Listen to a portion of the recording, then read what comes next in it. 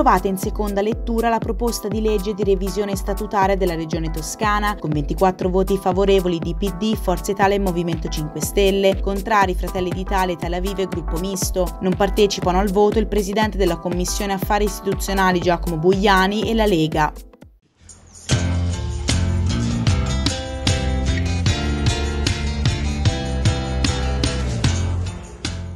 Due sospensioni hanno caratterizzato il dibattito piuttosto acceso in aula sulla seconda lettura della proposta di legge di modifica statutaria che prevede l'allargamento dell'ufficio di presidenza del Consiglio regionale a sette membri e la creazione della figura del sottosegretario alla presidenza della regione. Alla fine l'aula approva la riforma con 24 voti a favore di PD, Forza Italia e Movimento 5 Stelle, contrari Fratelli d'Italia, Italia Viva e la consigliera Elisa Tozzi del gruppo misto Toscana Domani. Non partecipano al voto la Lega e il presidente presidente della Commissione Affari Istituzionali Giacomo Bugliani. Io ho sempre cercato di mandare questo messaggio che lo statuto, come tutte le regole del gioco, bisogna provare a cambiarle a larga maggioranza, non ci devono essere eh, come dire, eh, forzature. È successa però una cosa strana oggi, nel senso che la Lega e Fratelli d'Italia, che eh, alla prima eh, votazione avevano votato favorevolmente, eh, stamani ci hanno comunicato, mi hanno comunicato alle 10, prima eh, Fratelli d'Italia, poi anche la Lega che non avrebbero votato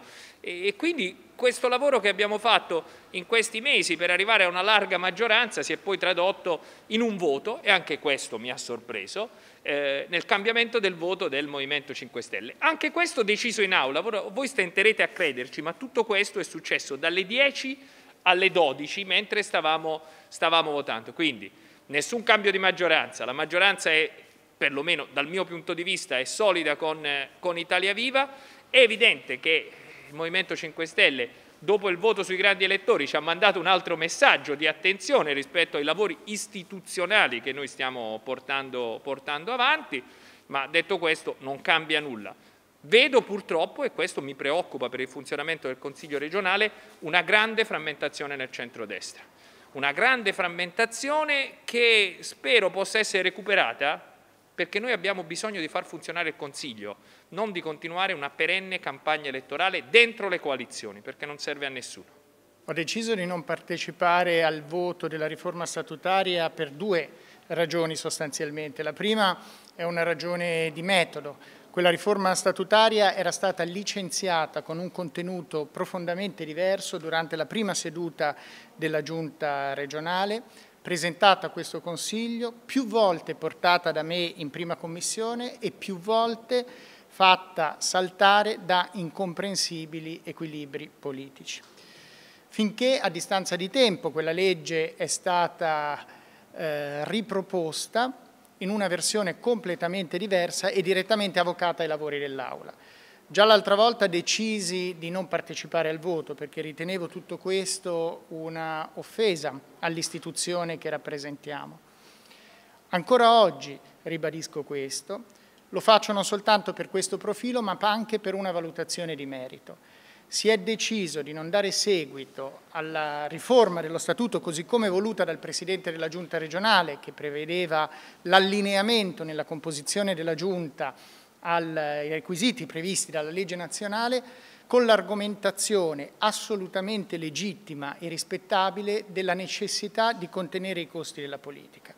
Se quell'argomento allora aveva un senso in quel momento deve avere un senso anche oggi. E siccome oggi questa riforma dello Statuto, oltre alla creazione di un sottosegretario che era già nell'impianto originario, prevede un allargamento dell'ufficio di presidenza, quei costi ci saranno e saranno importanti, collegati soprattutto alle strutture e al personale. E allora se all'epoca poteva valere quel ragionamento, quel ragionamento a maggior ragione deve valere anche adesso, fermo restando che reputo assolutamente incongruo un ufficio di presidenza fatto da sette membri quando il Consiglio regionale ha 40 consiglieri in aula. Mi pare francamente sproporzionato rispetto alle esigenze della presidenza dell'aula.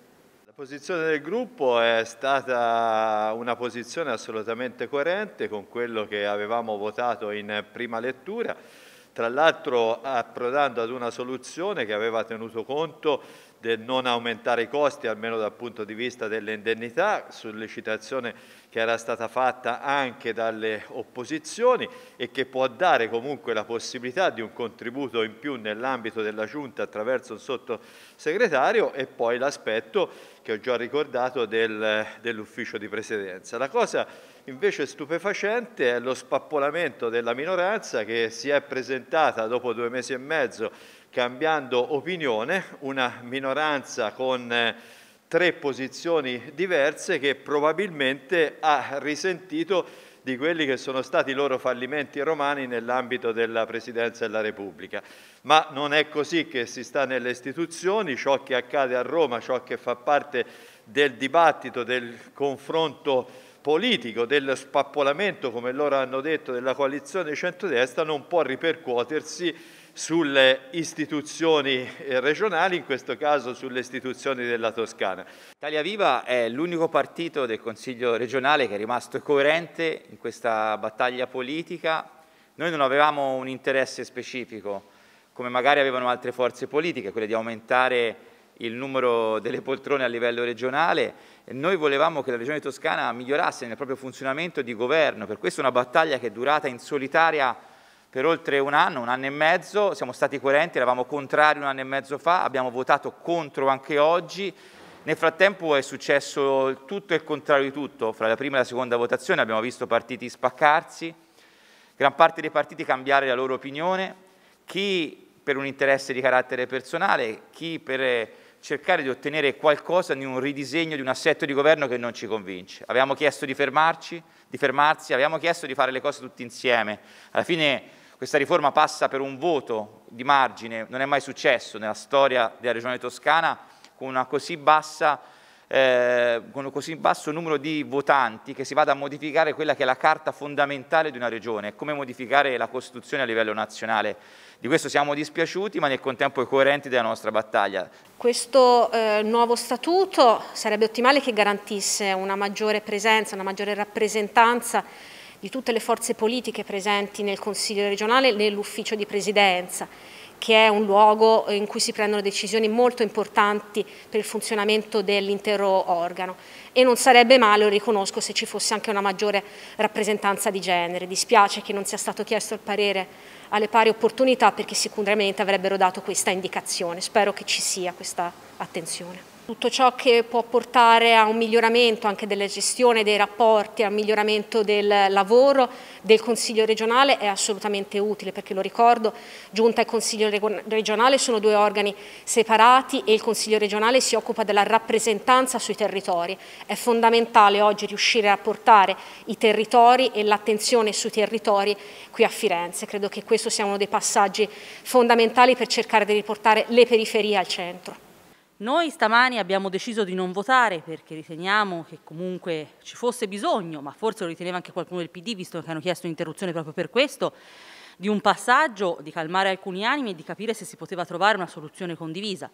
E, poi il PD è tornato e ha voluto votare, allora noi abbiamo deciso eh, di lasciare a loro il voto e di andare oltre. Certo, oggi è emerso un po', un po di confusione, sembra che eh, il 5 Stelle sia entrato in maggioranza e sia uscito dalla maggioranza il Italia Viva, stando a, a quanto vediamo dal voto, anche perché eh, la proposta è in seconda lettura, dalla prima alla seconda non si può modificare ed evidentemente eh, il 5 Stelle che ha votato contrario alla proposta la scorsa volta oggi ha cambiato radicalmente idea per votarla a favore. Forse ci dobbiamo aspettare che da parte della maggioranza il questore spetti a una persona del Movimento 5 Stelle? Può darsi, aspettiamo, magari chiederemo anche lumi sul fatto di chi rimane in opposizione e chi va a maggioranza tra di loro. La modifica dello statuto è un qualcosa che interessava alla maggioranza. La maggioranza voleva modificare lo statuto del Consiglio regionale della Toscana per introdurre la figura del sottosegretario, che è un tema che interessa a chi governa. Noi come opposizione avevamo chiesto due cose che lo statuto non venisse modificato, modificato, a colpi di maggioranza, ma venisse modificato con l'accordo di tutta l'Aula e che vi fossero anche l'introduzione di alcune forme di tutela per le minoranze, per esempio l'allargamento dell'ufficio di presidenza a costo zero e l'introduzione quindi di una figura in più a tutelare le minoranze in ufficio di presidenza. Tutte le forze politiche erano concordi all'inizio su questo percorso, tranne il Movimento 5 Stelle. Movimento 5 Stelle che fin dall'inizio aveva detto non se ne parla, perché anche le assunzioni, non l'aumento di costi della politica, perché è bene spiegarle le cose, ma l'assunzione di nuovi dipendenti a supporto dell'ufficio di presidenza, quindi assunzione di persone che verrebbero a lavorare, creazione di nuovi posti di lavoro, non se ne parla, perché comunque i costi non si aumentano. Stamattina arriviamo in aula